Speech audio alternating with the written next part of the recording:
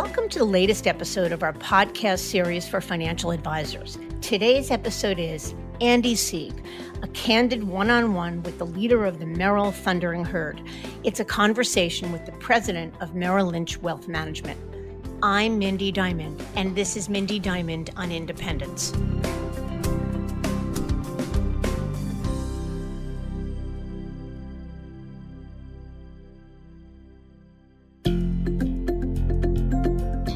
This podcast is available on our website, diamond consultants.com, as well as Apple Podcasts and other major podcast platforms.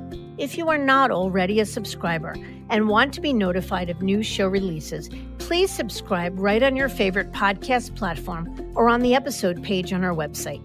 For Apple Podcast users, I'd be grateful if you'd give the show a review. Your input helps us to make the series better and alerts other advisors like you who may find the content to be relevant. And while you're at it, if you know others who are considering change or simply looking to learn more about the industry landscape, please feel free to share this episode or the series widely. We've come a long way. That is, a show that just five years ago propagated from roots in educating advisors on the independent landscape to today, a truly seminal moment.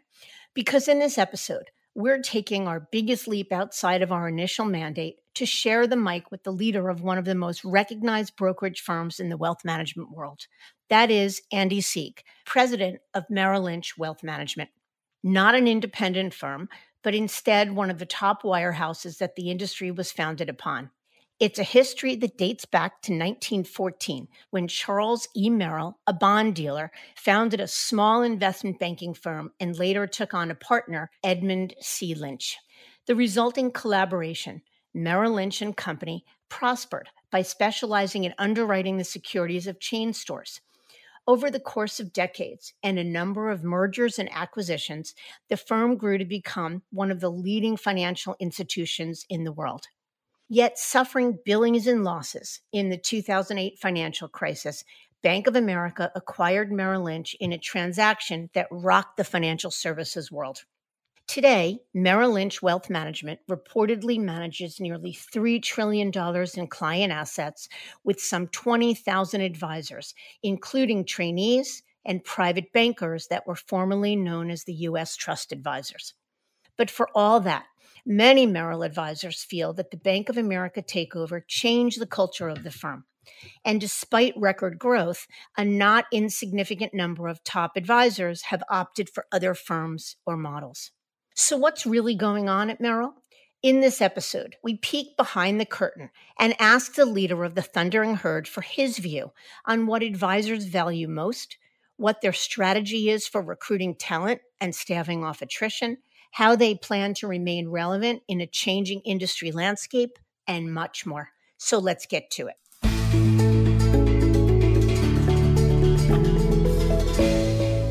Andy, I can't thank you enough for making the time for me today. I'm really excited about this. Hey, Mindy, it's great to be here. Thank you for the opportunity. Pleasure. So let's jump right in. There's a lot to talk about. Let's start at the beginning. Tell us about yourself, your path from the Kennedy School at Harvard to joining Merrill in 1992 to now being its president? No, I'd be happy to. Well, even before the Kennedy School, I, I grew up in Pennsylvania and went to Penn State, which I'm mentioning because I'm a proud Penn State alum. But in particular, a couple weeks here after the Rose Bowl, we're still uh, riding high on that victory.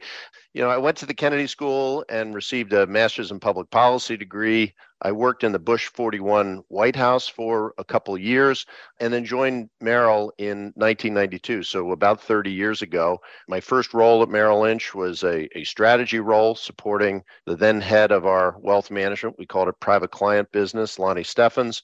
And over the last 30 years, I've really had an opportunity to work in most corners of wealth management in the field and in the home office, strategy roles, product roles, again, field leadership roles across segments. And so, uh, you could look at that as being uh, unable to hold a job for very long or uh, having an opportunity to see and lead in most areas of the business.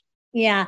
So, one question about that what brought you from public policy and working in the White House to the world of wealth management? Well, those of you who remember, if we think back to December of 92. If you were a Republican, you were being chased out of Washington. So I was part of that crowd, and therefore any job was looking pretty good in December of 92.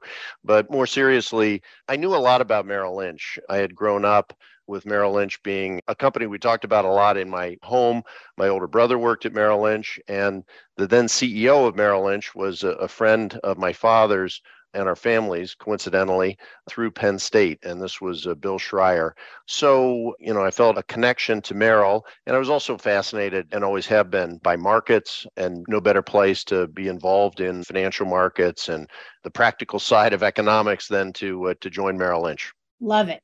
So, what do you think Merrill senior leadership saw in you that would put you on the road to the position of head of the firm? Well, I'm sure 30 years ago that they could not have foreseen what would have happened, but I, I, think the things they probably liked looking back at my younger self, I was a hard worker. I had an ability to just generally get things done. And in a variety of early roles, I was able to find an answer, bring a project together, get it to delivery. I collaborated well with people, and my communication skills, I think, have always been a strength. So, those are probably the kinds of things that put me on the radar. And very early in my career, I just had some unique opportunities to work closely with senior leadership. Dave Komansky was the CEO Merrill Lynch in the late 90s, and I was Dave's assistant for two years. So my exposure early benefited me over the years to come. And who of the leaders that you worked for do you think taught you the most about being a leader? Oh boy, it's really hard to pin down a single person. I mean, Dave Komansky was a huge influence, and being able to work day to day with a CEO was just an incredible opportunity, particularly early in my career. Bill Schreyer and his optimism, Dan Tully, CEO of Merrill Lynch, and his being the standard bearer of the, the culture and the principles of the firm made a big impact on me. James Gorman was my boss for two years, again, back in the early part of the 2000s. And so I learned an enormous amount from James. Outside Merrill Lynch, I just continue to benefit from the opportunity to learn from uh, amazing leaders, many of whom are outside our industry, people like Stan McChrystal, who's become a, a good friend and mentor. I always try to be learning and always try to be listening and observing. You can pick up a lot that way. Yeah. So we're going to come back to a lot of that. But tell us a little bit about your role as president today. So, what are the most important things you do today? I think of my job probably in three main areas. Maybe first and foremost being the um, you know, being the, the standard bearer for our culture at Merrill Lynch, ensuring that it reflects the history that I just referred to, but is also very forward facing and bold in terms of what we need to do with our business going forward. That Merrill continues to have the concern for our colleagues and our communities that's really typified this organization for a long, long time. The phrase Mother Merrill, that's a very positive, uplifting phrase for me and most of the people who work in this business, despite the fact that over the years, some people tried to paint that Mother Merrill phrase with a negative brush. My second area of focus is clearly on our strategy and our direction and here, my primary focus has been trying to get this business back onto a growth footing over the last uh, six or seven years. And then, third, in this role, as is the case for the leader of any business, a lot of focus on talent. Do we have the right people in the right leadership positions to help move the business ahead? Mm-hmm. So I want to talk a lot. I mean, you said a lot there, and I appreciate it. And I want to come back to the notion of being the standard bearer for culture and the connotation around Mother Merrill. But in terms of your role as president today, what do you think are the most important things you do as president that impact advisors? Mindy, I think it starts with the themes that I said culture, strategy, talent. If you kind of boil that down, a lot of that is about setting a tone for the organization. What's it feel like to be a part of the Thundering Herd? So, day to day, when I think about the way my role connects to advisors, you can't understate how important it is for advisors to feel that they are part of a team committed to clients and doing the right thing for clients, but also committed to leadership in our industry. And I think that's what has drawn so many incredible advisors to Merrill over the course of many decades. And day to day, what I want to ensure is that my team and I are stepping up to what that history means. And we're continuing to ensure that this organization feels a certain way, maybe more operationally. We're trying to make sure that this set of capabilities inside Merrill and the broader Bank of America, which is unmatched in our industry, is as accessible and as easy to put to work on behalf of clients as possible because for our advisors that's among the key differentiators for us as an organization the ability to do just so much for clients so there's a lot of that day to day that is the responsibility of my team to make it accessible Yep. So I'm going to ask you next about the things the you had told me offline about sort of the three pillars of Merrill you are most proud of. But one question for you.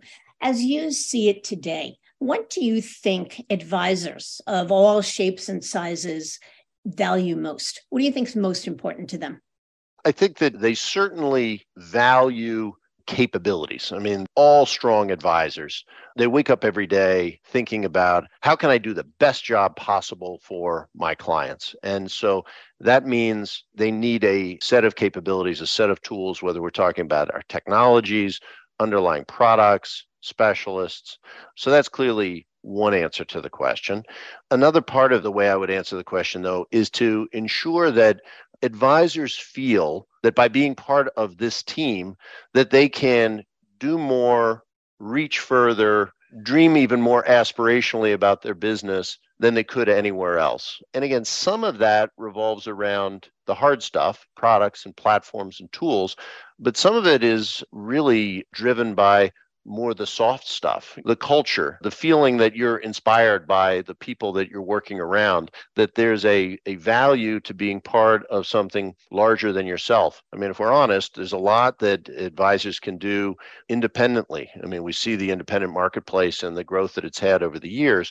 And if the only analysis is do I have an ability to access a piece of technology or transact on behalf of a client? You can make a case that an independent advisor can do that just as well as an advisor at Merrill Lynch for the most part. We can draw some distinctions in some parts of the product set. Therefore, for us to ensure that being part of Merrill Lynch has meaning and has value for advisors, we've got to demonstrate that being a part of this larger organization, it brings out your ability to serve clients and to grow your business and to be an entrepreneur and to succeed personally and to build a team around you is unmatched by what any other environment has to offer. Yeah.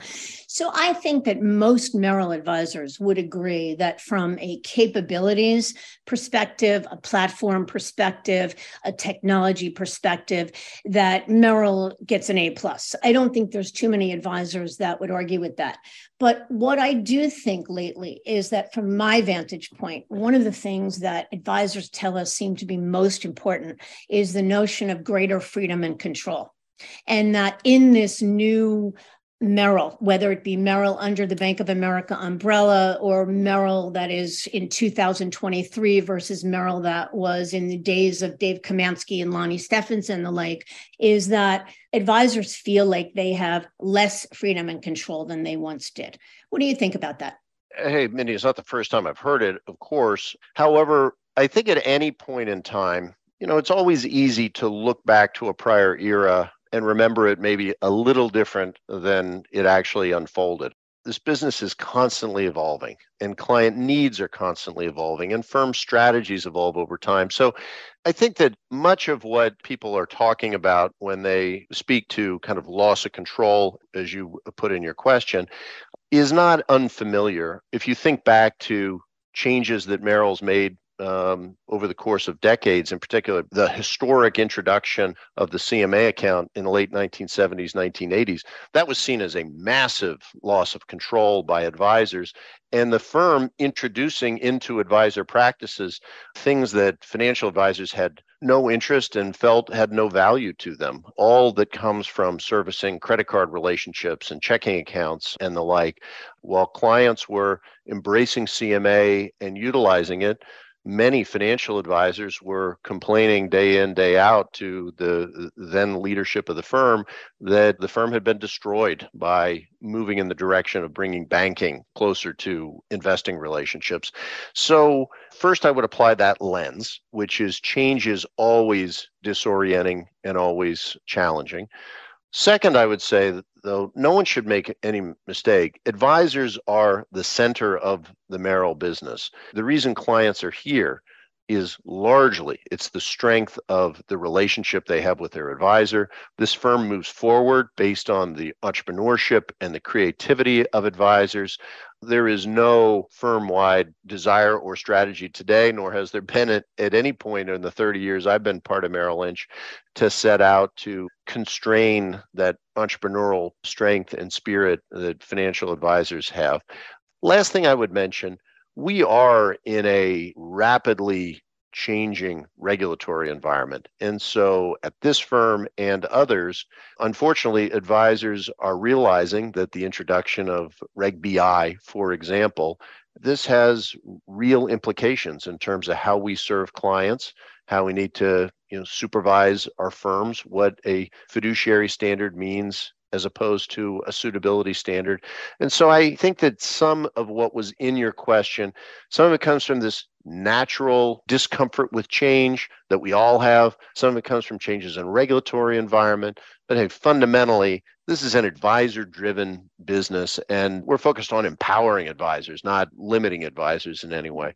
So I think every advisor would agree that so much of the way every major firm, every wealth management firm governs has to do with the fact that we live in a heightened regulatory environment. There's no question about it. And it is a fact that the bigger the firm, the more the firm needs to manage the lowest common denominator. And that just can't be helped. Merrill's got 15,000 advisors, so that's just part of sort of what it is.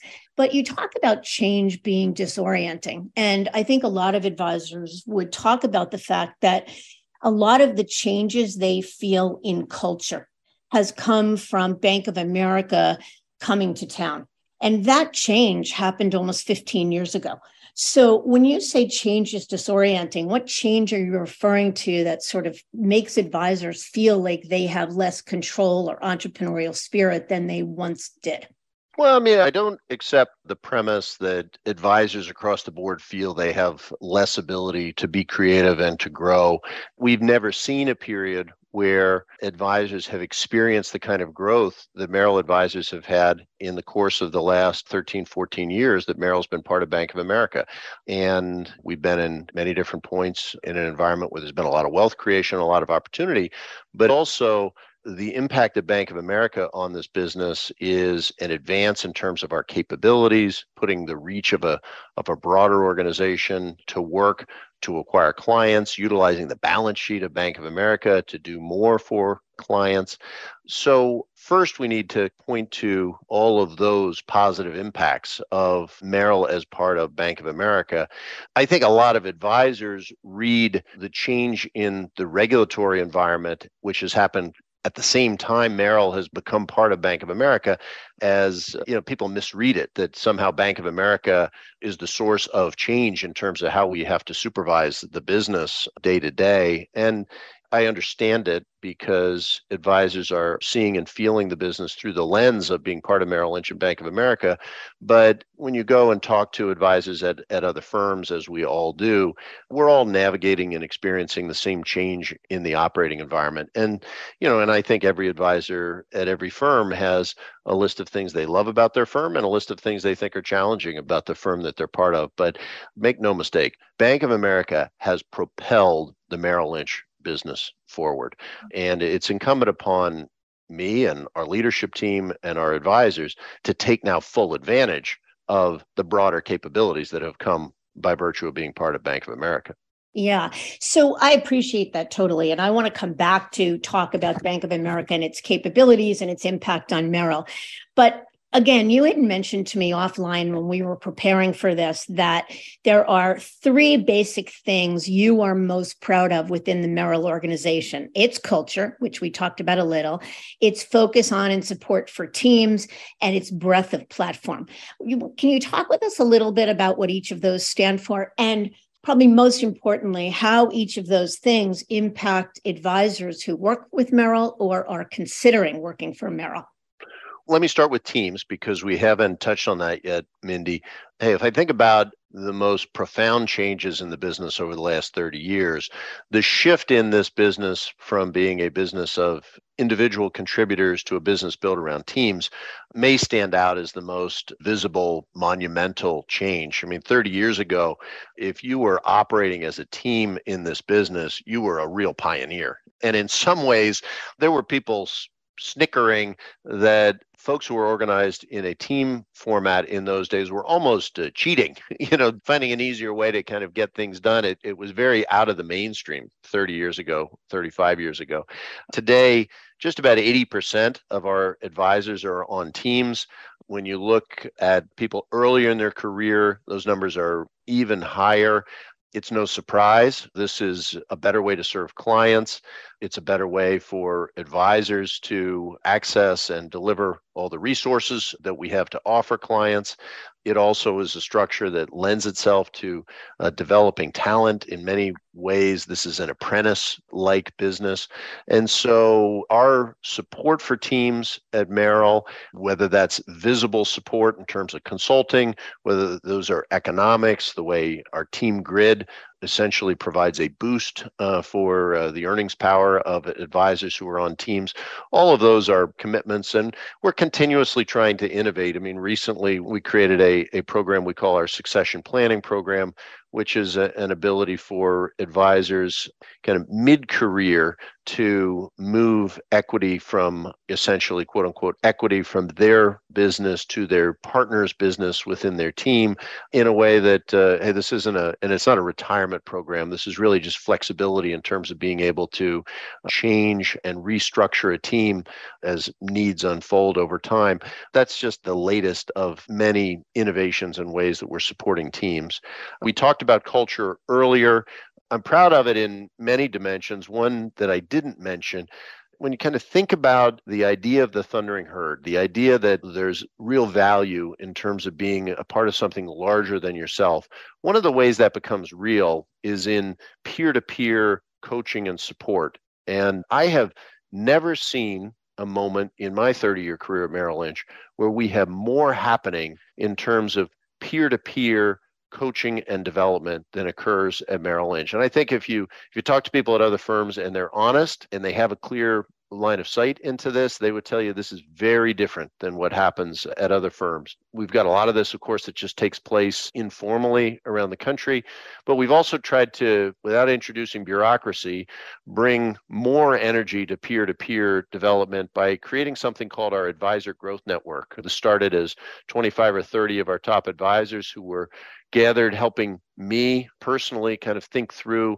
what we could do to accelerate the growth of our business uh, four or five years ago. This has now become a network of between 800 and 1,000 advisors around the country who have committed themselves with no tangible benefit to them personally to helping support the growth that's happening among their peers just because they see it as an opportunity to get back to the firm and they have a confidence that if everyone's skills and if the energy across Merrill Lynch is higher, it's going to reflect well on them. It's going to benefit them over time. It's this idea here that iron sharpens iron. Great advisors spending time with each other and sharing ideas. You should not have to go if you're a Merrill advisor to a Barron's meeting or a Forbes conference, as great as they are, to have access to the best Merrill Lynch advisors because they're working alongside you every day. That's the value of being part of this organization. And I think we've tapped into that and we're seeing it really benefit us through AGN and elsewhere.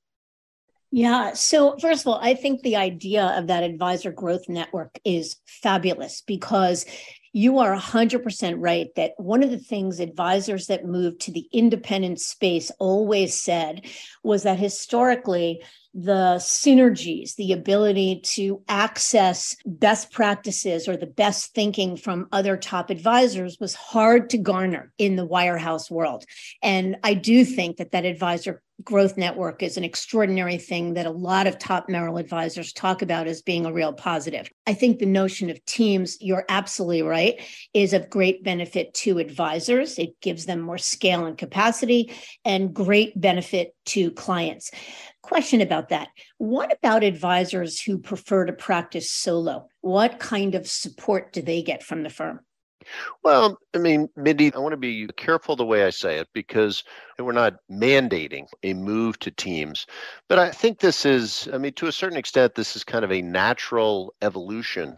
When there's something in our business that is clearly better for clients, clearly advantageous for advisors, it tends to take root and to grow and to spread in the way that you would expect to happen in a free market, essentially. And so, will there always be individual contributors who, in some cases, run great businesses? Absolutely. Will they have access to the same networks and products and platforms as teams?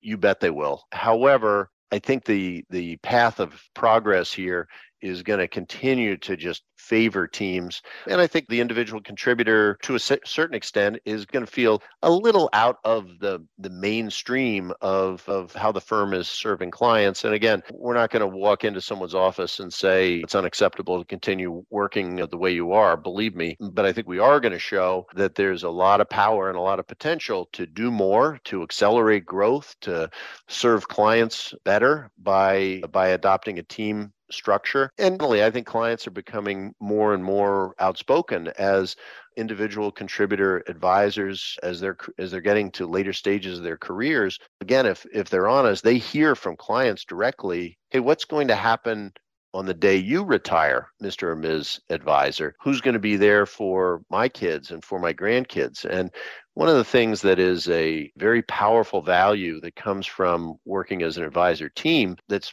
in some cases not as appreciated as it should be, is the ability to have a team with multi generations in the team face off against a multi generation family. That's a source of great security and confidence in the future because the matriarch or patriarch knows that when they're not there and when the senior advisor may have retired, that there's a structure in place that's going to be able to support their family going forward. And again, I think these signs around the power of of a team model, they're all around advisors. And again, most are responding to them and moving in the direction of of teams. Yeah, I think you're right. And I think largely the industry sees it as you do. And still, there are some advisors that prefer to practice solo.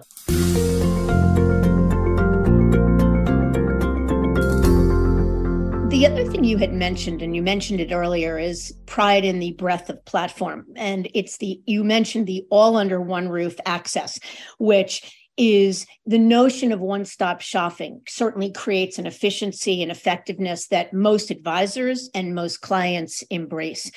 But I'm wondering about the sense of does it create pressure from your perspective on the part of Bank of America for advisors to sell Bank of America products, credit, lending, mortgage, et cetera? Mindy, thank you for the question. I don't think it's accurate or, or fair to say that there's quote unquote product pressure. There's certainly an expectation that we're going to serve clients fully and that we're going to try to meet client needs as broadly as possible. That's very different. That's rooted in seeing who are our most satisfied clients and what are advisors doing and what are we as a firm doing to serve those clients. And then how can we ensure that all of our clients have that that same level of client satisfaction. And what flows from that is, for example, a, a commitment that hey, we should try to have a financial plan in place for most of our clients. And that plan should be refreshed in most cases every couple of years. You don't hear me saying mandate 100% but that is very clearly that is a, a platform to understand clients and their needs and their goals and then ensure that we're serving them very broadly.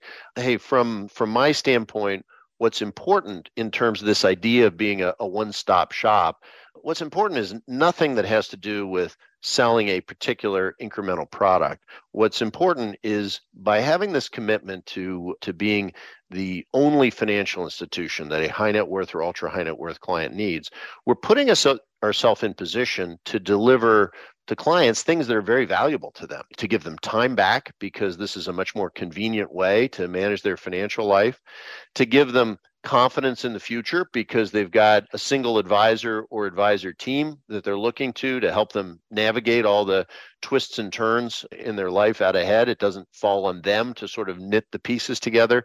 And then, third, this idea of being a one stop shop, that means a lot of value for clients, more for your money in terms of what you're paying. Because when you're bringing different aspects of your financial life together with a single advisor, you should expect as a client that you're getting better pricing or better terms because you're accessing additional capabilities alongside an existing relationship. And hey, last thing I'll say there's a lot of firms that would claim they have the ability to be a one stop shop. I would argue that most simply can't come anywhere close to meeting their claims because it's very hard to have the breadth of, of products and to have the visibility that advisors and clients need across all the aspects of a client relationship and to integrate investment products, banking products, lending products, estate planning relationships and on and on. This is hey it's it's very hard work. It's very resource intensive. It's a reason that scale is so valuable in wealth management because these aren't a couple million dollar investments. These are hundreds of millions of dollars being invested year after year after year to make it easier and more seamless to serve clients across the board. And again, you asked earlier about the value of Bank of America overall to Merrill. Bank of America spends 11 plus billion dollars a year on technology. We are operating today in an organization that has an ability to uh, to put resources behind technology development and innovation at a scale that prior generations of, of Merrill Lynchers could have only dreamed of. Yeah, it's interesting. You mentioned the notion of the whole integrated access to all under one roof, everything. I'm curious what you would say. So, versus a Morgan Stanley that says we are a wealth management firm that owns a bank, but not the other way around, versus independence or any version of independence where the selling point is not being beholden to one bank's inventory or products, but being able to access best in class products via third party providers. So, not integrated, not all under one roof. What do you say to that? How do you compare Merrill Lynch's all under one roof, fully integrated to those other models?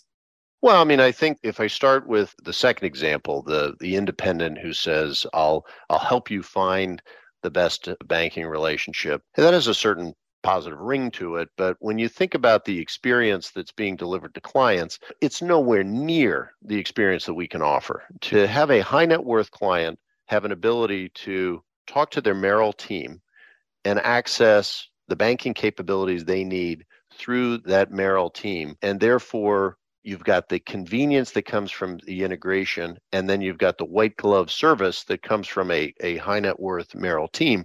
That's an unmatched proposition. Most clients, one of the things they are frustrated by in the world of consumer banking is they aren't receiving the kind of white glove service that you get from your wealth management organization. And so that's why this is it's powerful being able to deliver banking kind of through your Merrill team. I'm not going to go firm by firm and draw comparisons, but what I would say, we talked earlier briefly about CMA. Merrill attempted to bring banking capabilities to clients beginning in the late 70s and early 80s and while while it attracted attention and was a powerful innovation it never fully scaled. I mean, if we look back to the day Bank of America acquired Merrill Lynch, there were only about 100,000 Merrill Lynch clients that were actively using CMA for its banking capabilities, doing check writing as, as one example. When we think about today, I mean, in an average year now, we're opening 150 or 200,000 additional checking accounts for Merrill clients every year. Our clients are on the Bank of America mobile app, for example, every day at scale. 80% of our wealth management clients are engaged with us on mobile or online. And one of the reasons that that engagement's happening every day is it's, it's about transactional activity that takes place in the banking realm. That would have been impossible to achieve if Merrill wasn't connected with the premier consumer bank in the country. Again, CMA had a lot of banking capabilities, but there weren't 4,000 branches. There wasn't the level of investment and innovation and all that kind of comes along with really being married to the dominant consumer bank in the US. Yeah. And so that's probably a good segue. You talk about advisor growth being off the charts. And it's true that despite volatile markets, the investment business has been the primary driver for the banking business with nearly $4 trillion in investment assets. And organic growth has been off the charts. And Merrill, under your direction, has really dramatically grown net new households and assets under management and the advisor force now stands i have about 20000 i'm not sure if that's the right number but a number which also includes advisors in the private bank and bank branches so i'm wondering what do you think has been the most impactful things you've done to influence such success well, thank you for running through that list. We've tried to do some things differently over the last six or seven years. At the core has been the idea of moving growth back to the center of the table in terms of our our strategy at Merrill with a with a conviction that hey growth is a that is a very powerful world word fuels energy and culture it fuels innovation. Growth is it kind of taps into the ambition that advisors have to to do more to think bigger about their practices. And what we we went through some self-reflection six or seven years ago and and kind of felt that we had lost that focus on growth. And so by bringing that back and putting that at the core of our strategy a lot of things kind of flowed from that. We made changes in terms of what we expected our leadership teams to do in the field. I mean, one of the things that again in that in that period of self-reflection that we had discovered was in many ways advisors I think legitimately felt like their local managers were less empowered and mm. frankly less connected to the success of advisors businesses and so hey one fundamental change six years ago was to was to reset the way we were gauging the performance and paying our managers so that they had skin in the game so that hey if we were if we were going to bring growth back to the core of our strategy that we were going to pay our leaders based on the success that we were seeing in terms of new household acquisition and new household development.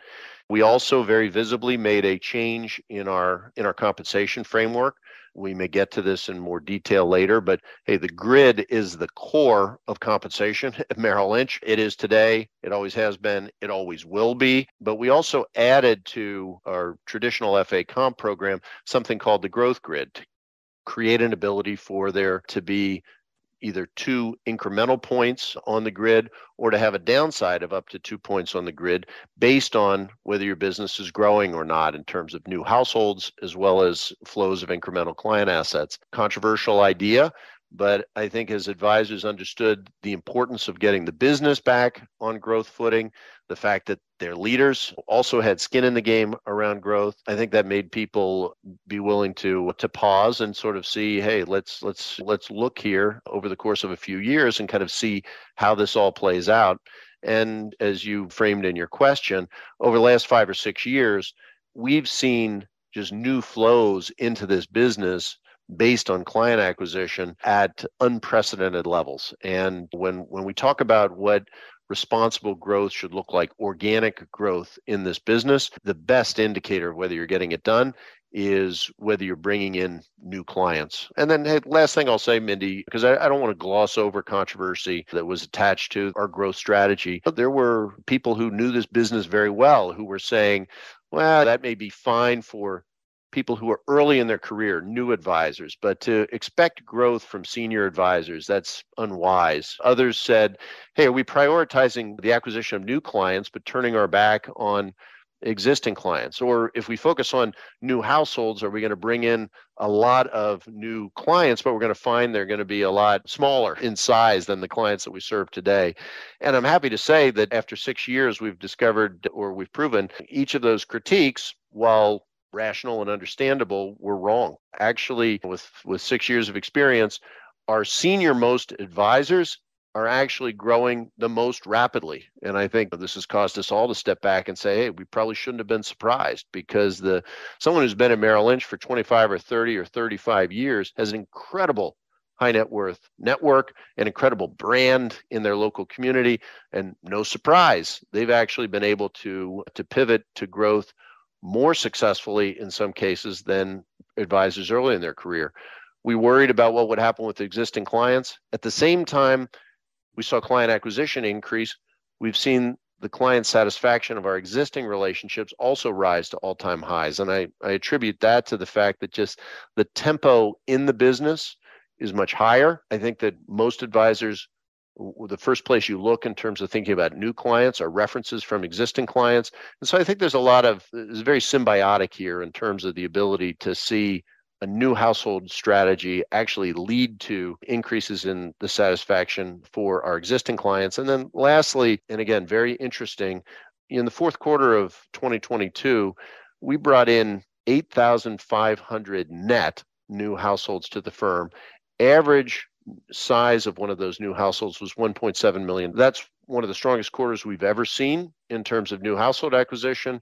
And if you think back 10 years ago, the average new client that we were bringing was not even half that level. So what we've seen is no decrease, actually an increase in terms of the wealth profile of the new clients that have been coming in. And again, in retrospect, we probably we're, we're not surprised because advisors are they're they're out looking for new clients in the same segments that they've served historically.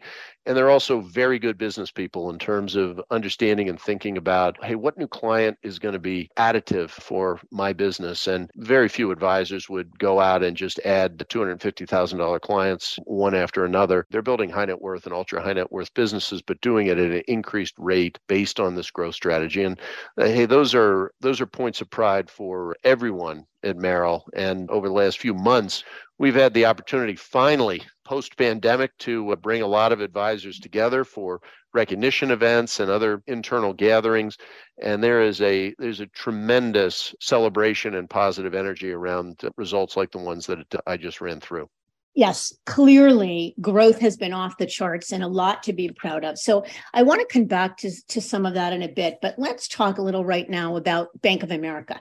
So, number one, you talk about sort of this interconnectivity between Bank of America and the Merrill Lynch Wealth Advisors. And in a word, a lot of people think about that in terms of referrals of business from the bank to the wealth advisors. Does every advisor get referrals? How do, how is it determined who gets them and who doesn't? Well, we've got a, I mean, the lion's share of advisors are involved in one form or another in referral networks. There are referrals that come from the consumer bank at scale. There are referrals, of course, in the high net worth arena that come in the context of investment banking relationships or other institutional relationships. There are access to new clients that come through a presence in the retirement business and kind of whether it's rollovers or other downstream opportunities from the retirement business. And so what what you will see is again, I would say the lion's share. I don't know if I can say 100%, but almost all advisors are involved in one form or another in a referral relationship with the broader Bank of America. Increasingly, the term referral is becoming a little bit archaic, to be honest, as I'm sure is going to be intuitive when I say it. You want to have the working relationships between Merrill Lynch advisors and the rest of the company get closer and closer over time so that relationships and opportunities passing from Merrill to the broader bank or the broader bank to Merrill just feel like coordinated client coverage, not something that the word referral kind of conjures up, which on a bad day can feel like tossing an opportunity kind of over the fence to an, another side of the company. So when you talk to the fastest growing, the most successful teams at Merrill, they think of their team as their close in team that kind of works with them day to day the specialists who uh, surround them now and have historically, but increasingly commercial bankers, investment bankers, individuals in the consumer bank who are very connected to the way that they're working day to day, week to week. So, again, we can use the word referral, and to a certain extent, it's accurate, but these are really how do we create coordinated coverage of clients across the company? Yep. All right. So let's talk. You mentioned culture and how your job is really the standard bearer of culture at Merrill Lynch. And I'm curious because a lot of Merrill advisors talk about how the culture at Merrill Lynch really changed when Bank of America came to town. And they're not saying that in a positive way. They're saying that they loved the culture, the entrepreneurial culture that was Merrill many years ago, where Mother Merrill was a positive term. Now, when a lot of advisors talk about Merrill Lynch, they talk about Mother Merrill being overbearing and bureaucratic. And they credit the bank for having made that change. So I'm wondering, A, if what you would say to those advisors that feel that, and how you think about managing the delicate balance between the desire to listen to advisors and give them what they want and manage the needs of the organization as a whole. Well, I mean, if I take my 30 years of experience and, and I talk to advisors about this all the time, I think there is much, much, much more that is the same than is different in terms of what it feels like to be part of Merrill Lynch and part of this firm. Hey, at any given point over the last 30 years, there's always five or 10% of things that the firm is doing, the company is doing overall, which is frustrating to advisors or legitimately advisors feel, hey, this area of the organization is broken. And one of the great strengths of Merrill Lynch over a long period of time has been the commitment to take that feedback from advisors and put it to work and to go after that five or 10% of things which are annoying or less than optimal at any given moment and fix it. And what you then see is hey, that five or 10% of area, those areas of concern are fixed. And then there's a new five or 10% of things which are, are there to be addressed. And so what we've been going through in the last five years or the five years before that, to me is very consistent with, with our history. I try to make sure that, hey, we as a leadership team, we're connected to advisors in the right way so that the feedback is coming in and that we're certainly aware of what are the five or 10% of topics that need to be addressed in the moment. One of the things I, I say in just about every meeting I have with advisors, small, medium, or large scale, is hey, at Merrill Lynch, the First Amendment is alive and well, and we want your feedback, and nothing is sacrosanct, and let's let her rip here in terms of what we're talking about. And that's where I get the lion's share of, of the best ideas, that kind of feedback from advisors. And of course, I can't be anywhere all the time, which is why we've got other ways to cause advisors to get input to senior leadership or to address the direction of the firm, our advisory council to management, advisor growth network. So there's a lot of what people quite naturally feel at the moment is a new frustration or something that must be kind of the conglomeration of an impact of Merrill as part of Bank of America or this moment from the regulators that is really it's not it's not totally new. It's a dynamic which has always been in our business and other businesses where hey things are things are uh, it's challenging. The market is changing. Client needs are changing. And and organizations have to adapt to it and there's there's friction if you could take advisors and if we could have the better part of 20,000 advisors if they would have been able to to join us about 60 days ago we had a um, Merrill leadership meeting in Dallas. And I, am mentioning it, Mindy, we, this was the first large scale Merrill Lynch leadership meeting we've had in quite a number of years, probably the largest one since before 2008. We had a thousand of our leaders from the field and the home office, including producing managers in the field. And if you sat in that room for three days, you could not leave without feeling like the Merrill Lynch Bull is alive and well, the Merrill Lynch culture is alive and well, and that we are making the most as an organization of uh, the relationship and the resources and the scale that comes from being part of Bank of America. And interestingly, over the course of uh, two, three days, there were three standing ovations for speakers on the main stage. One was for Brian Moynihan, CEO of Bank of America. A second was for Win Smith, the son of the founder of Merrill Lynch, who, who joined us as a surprise guest to talk about the firm and its history and to put it into context. And the third was President George W. Bush, who joined us to talk about America and the moment and how to think about this moment. And again, that was a powerful example of how we as an organization, I think, are pulling our heritage and our history together to put us in position to address the future like like no other organization. So that's an interesting segue because the Merrill is a dichotomy in a lot of ways, at least sort of as an outsider looking in. And what I mean by that is there's most advisors would acknowledge you're doing amazing things with technology and platform. No one can argue with the growth et cetera. And yet there's been a good amount of attrition. And i know that when there's attrition it doesn't necessarily when one big team or two big teams leave it doesn't necessarily materially change headcount but it does mean often that culture carriers and significant teams that really mean a lot to the firm and others around them are walking out the door. And there have been some significant losses this year, or I should say in 2022.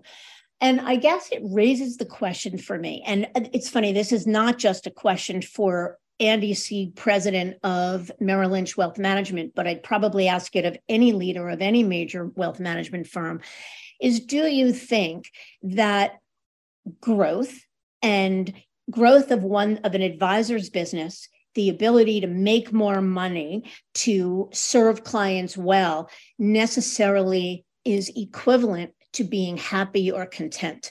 And here's what I mean by that. We talk to a lot of advisors. Most will acknowledge they've had their best year yet, or they've grown 10%, 15%, 20%, and they're thrilled. And yet, when they leave, they're leaving because they're not talking about the fact that they're not growing. They're talking about wanting to grow more. They want to grow in a less bureaucratic environment. So, forgive the long winded question. I guess my question is how do you think how do you think about the connection between contentment and happiness and changes in culture and the attrition and why advisors are leaving big teams are leaving?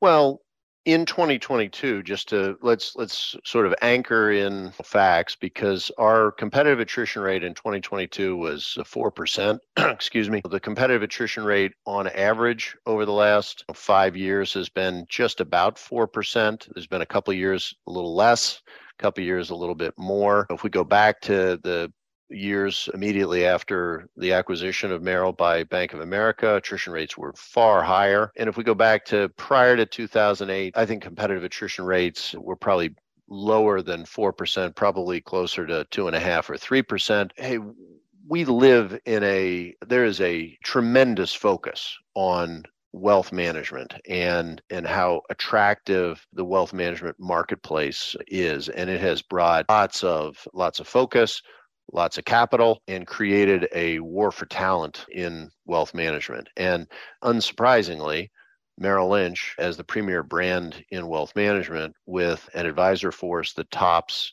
Barron's List, Forbes lists, and many others, we get more than our fair share of incoming calls from recruiters and others. I don't want it to be misread. I hate seeing any advisor leave Merrill Lynch full stop. I, I want our team to thrive and to grow. I want everyone to be commercially successful and contented and to feel like there's an ability to serve clients here like you can nowhere else. So when anyone leaves, it hurts. It hurts us as a team, hurts me personally to uh, to see a departure. I think that that war for talent means there's a bid that is very attractive that at different points in people's lives, sometimes kind of based on factors that are pretty far afield from their client business, just something that's happening in, in their own life that causes the need or the desire for change. There's not a lot that we can do about that because hey that that's that's just a, a reality what i what we can do is try to put in place the most advisor centered and positive support for advisors across the life cycle that exists anywhere in the industry. And by that i mean best in class training program most growth oriented set of programs and products and services while advisors are in the core period of their career serving clients and hopefully thriving and then a very attractive and compelling program at the end of advisors' careers to transition their business, monetize their business, so to speak, and ensure clients and colleagues are being well treated through the transition the kind of broader topic of contentment that's a little bit kind of outside of my ability to uh, try to collectively put our industry on the couch and kind of get inside everybody's head i wouldn't pretend to to be able to do it. I know that the advisors that I, that i know at merrill lynch and elsewhere hey where they get satisfaction is doing an awesome job for their clients and seeing the impact of that work doing a great job in terms of supporting colleagues and ensuring that their colleagues are, are growing and developing playing a role in their communities and and seeing opportunities for the success that they have achieved to to kind of flow back to the causes and and groups that they care about in their local communities.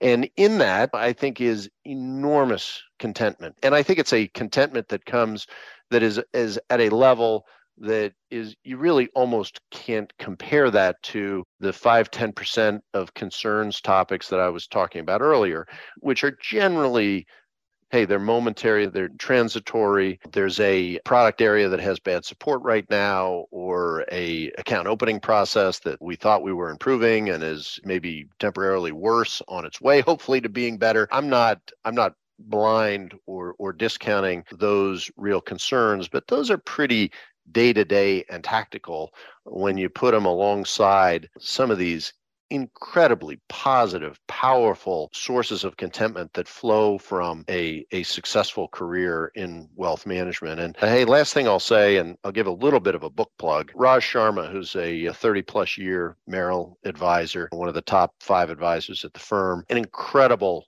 American Dream story personally. He took time during the pandemic to write a sort of a, a combination of a memoir that is also kind of a, a user guide for someone who wants to build and lead a wealth management team. And when in that, Raj talks a lot about the interrelationship of clients and family and colleagues and communities. And I, I think he's hey, he's a wonderful example of how this all can come together in a way that is generating financial success and, and great happiness for advisors and people around them. And what I want to ensure is that Merrill Lynch and this brand brings out the best in our advisors and creates those kinds of opportunities in in powerful ways and at scale. Yeah, I appreciate that totally, Andy, and I agree with that. And I would also say that probably for every team that leaves, large or small, there's probably thousands of advisors that are very positive about the firm. So we're not arguing that. But I'm not sure that I agree that when a big team leaves, it's because there is a transitory problem, some operational problem, something that's not working in my opinion, I think that from where I sit, when a big team leaves, it's a combination of two things. One, they're drawn to another model, another way of doing things that they can't do where they are. And in a tremendous seller's market where there are high bids, yes, but a lot of competition and a lot of ways for an advisor to practice, that's a draw. But it's also equally, in most cases, when a big team leaves, that there are pain points. And some may be transitory, but the bigger the team, the more they may have worked to try and fix or attempt to remedy the situations that bother them. But the pain points are usually much bigger. They're less transitory and much more about as I look at the long term health of my business, do I believe that my firm, whether that firm be UBS, Morgan Stanley, Merrill Lynch, or Bob's Brokerage, is the best place to really service my clients and grow my business? In my experience, when a big team leaves, it's not because of one or two transitory issues, it's because of sort of a philosophical disconnect with the firm. So I guess I'm wondering from your perspective, what do you think about that? I think it's very hard to generalize. I would not be in position to doubt that what you said is what you've heard from advisors that you and your colleagues have worked with. I think very broadly, people leave firms for lots of different reasons, and some of them are anchored in legitimate business strategy concerns.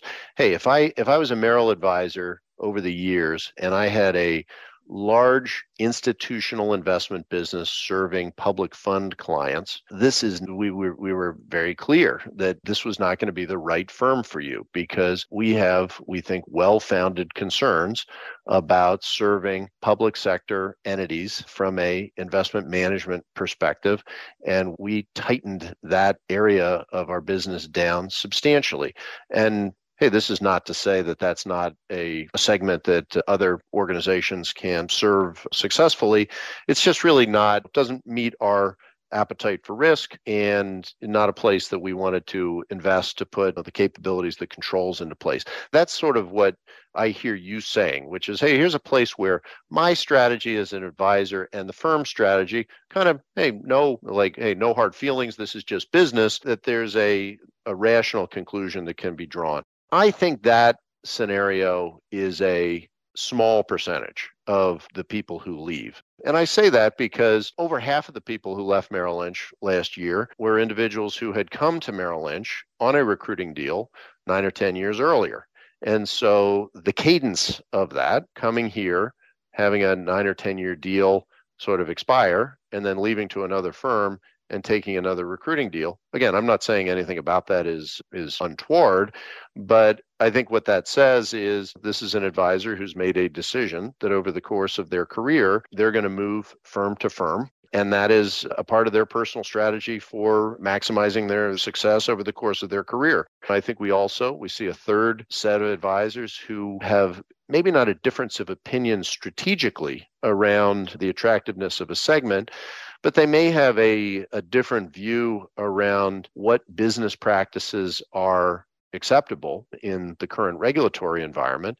And in some cases, these are tricky situations where something maybe on the radar screen of the firm, the local supervisors. It's kind of caused an advisor to to feel that hey, the the firm's advisory holding the supervisory reins pretty tight. The firm feels like we've hey, we're seeing the the staff bulletins coming out of the SEC, and we're seeing FINRA activity in and around our our offices, and we've got a, a point of view and an advisor may leave kind of based on uh, hey they're willing to take some of the risk to their own license and their own practice. And again, that's part of what causes change of platforms to uh, to take place for advisors.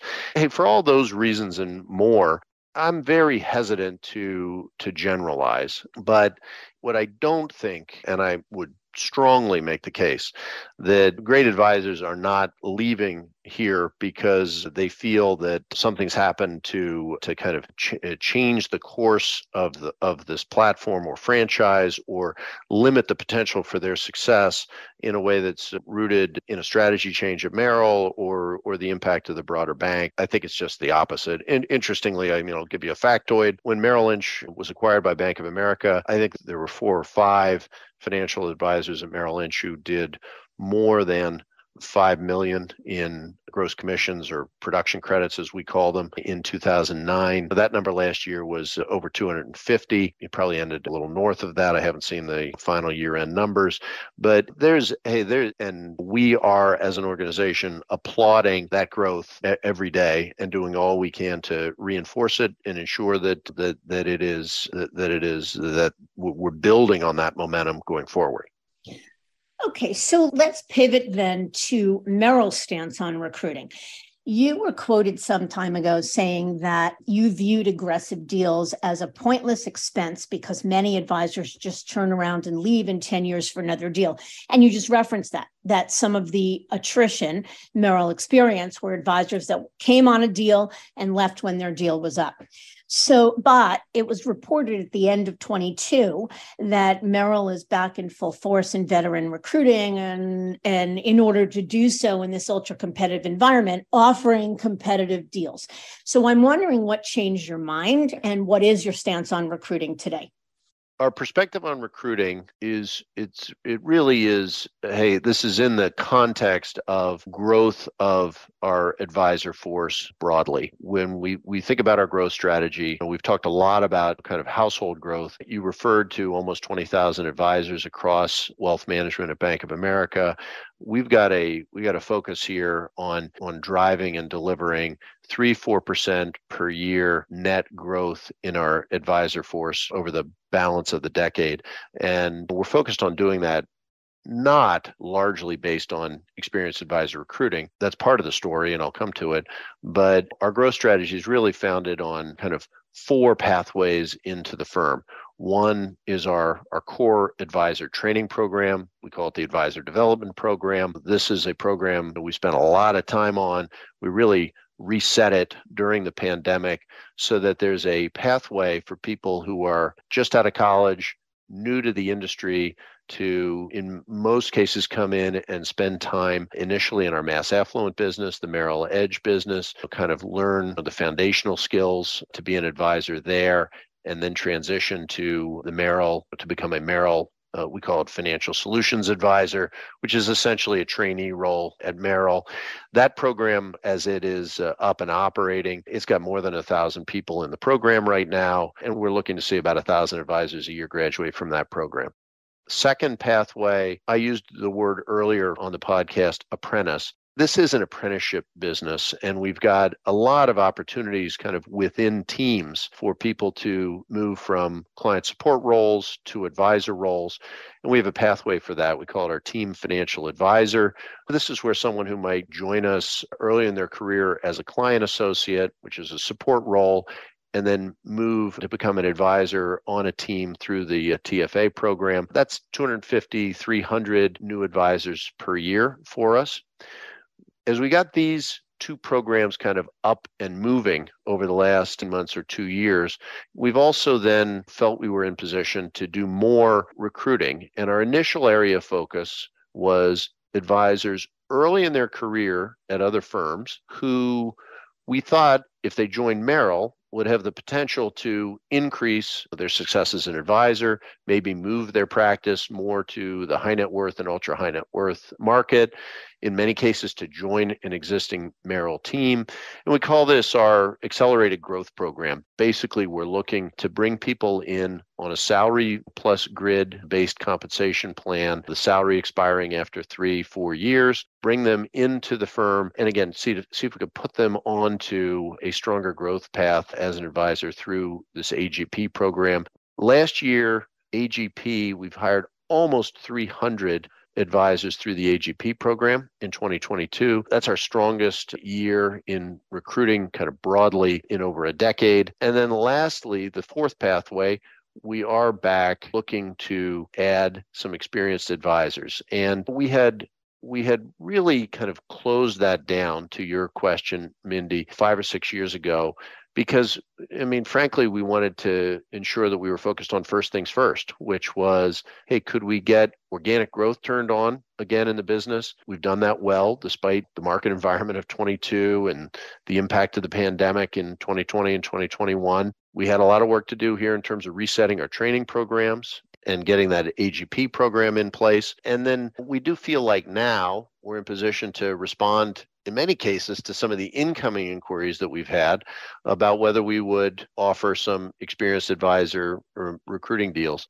We have an offer that I think is consistent with the market, but I, I do stand by, you know, what I said a year ago. We see around us some deals that take place in the market which defy any rational economic analysis in terms of them being accretive to the acquiring firm. Hey, we we just had some advisors who unfortunately left us in the Northeast. I think reported deal that they took was above a 400% deal. We've seen what the transition experience has been for their clients and six months in, less than 50% of the clients have moved. When you put all that together and kind of assess what that would look like in terms of an economic proposition for the acquiring firm, that's not good.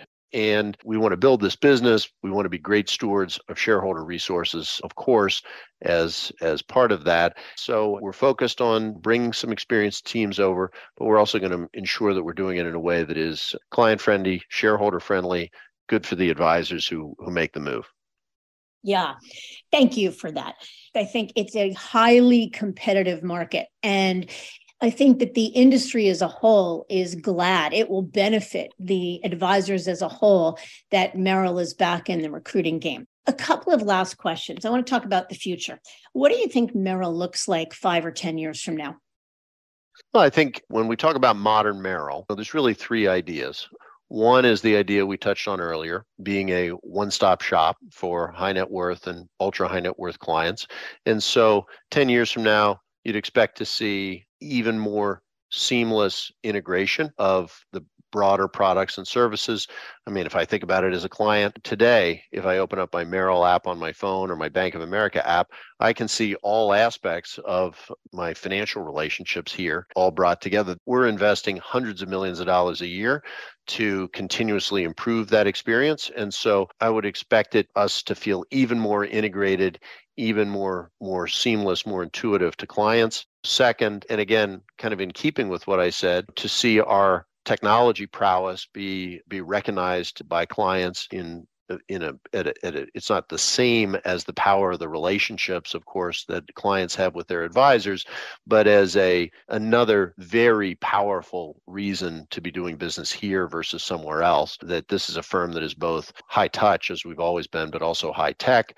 And then 10 years from now expect to see much more in the way of diversity across our advisor force. And, and one of the things you and I had talked about in earlier conversations, Mindy and, and you, I think you put it along the lines of, hey, if you could close your eyes and wish for kind of one dream to come true, what would it be? Hey, if for me that dream would be a lot more diversity among our advisor force. And in particular, if you give me one thing I could hope for, I'd like to see 50% of our advisors be be women because more than 50% of our clients are women today. And I feel that's a place where Merrill Lynch and in the whole industry has a lot of ground to cover very, very quickly. Andy, will there be an independent channel within Merrill Lynch 10 years from now? I don't think so. And I think predominantly because I don't I don't think it will or would serve a need. It's something that we've looked at every couple of years for 30 years. It has never made sense for us. We always felt that we wouldn't have an ability to support those advisors in the same way in the in the fulsome way that we support Merrill advisors. And so so no, I don't think so. That's not a that's not only a topic that revolves around products and services and platforms and comp. It, it revolves around culture, the idea of one unified Merrill Lynch organization out in the world. And so I don't anticipate us with an independent channel.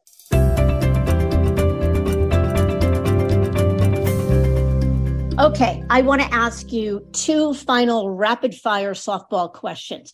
So, one, what's your morning routine?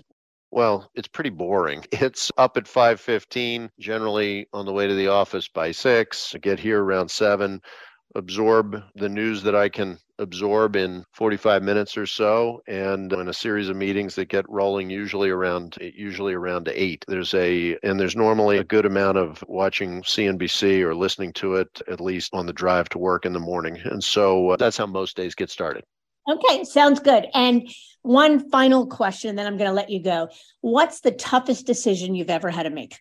Oof. I think most tough decisions in business are people decisions. And without being in any way specific, and it's not unique to any particular period, but over the last 20 years, having the balance of what does an organization need from senior managers, senior leaders? Are people in position able to deliver what, what the firm needs and what our advisors and clients need? Weighing that off with loyalty, longstanding relationships, and then having to make decisions around when change when change is needed those are always really really hard. And when change happens and you look back generally you feel that the the difficulty of those decisions caused you to weigh them probably longer than you should have but, but nevertheless i think those are usually the tough decisions. Alongside people decisions the choices end up generally being easier and they're frequently decisions that are uh, two-way door decisions that you can kind of make a decision test and learn a little bit and then redirect if things aren't working out. People decisions are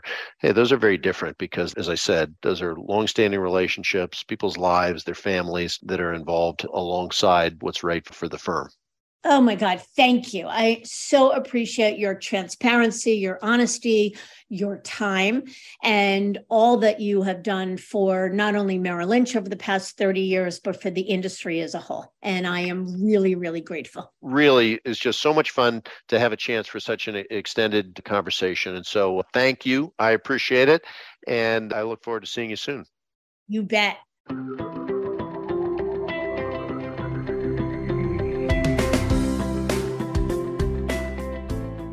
As the standard bearer of culture, it's leaders like Andy Sieg who are responsible for setting the goals and direction of their firms. And in a world where the mindset of advisors and their clients have changed dramatically, the burden of managing change rests solely on the leadership. No doubt, the attraction to big firms remains strong for many advisors, with their one stop shop approach, top notch support, and continued investment in technology and services at the core.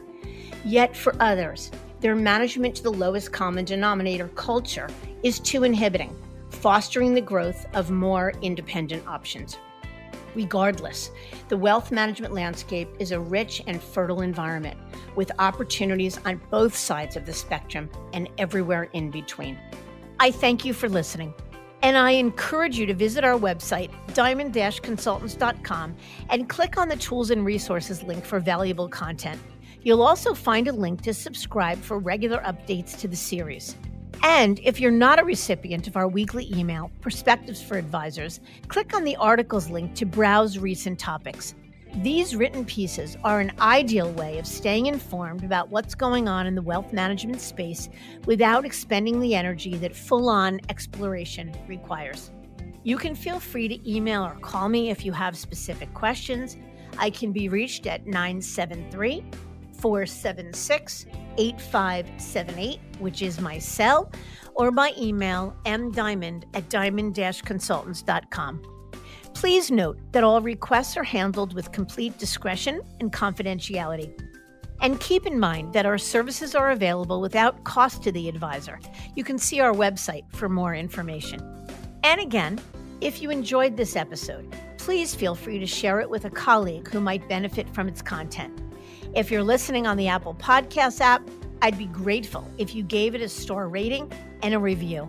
It will let other advisors know it's a show worth their time to listen to. This is Mindy Diamond on Independence.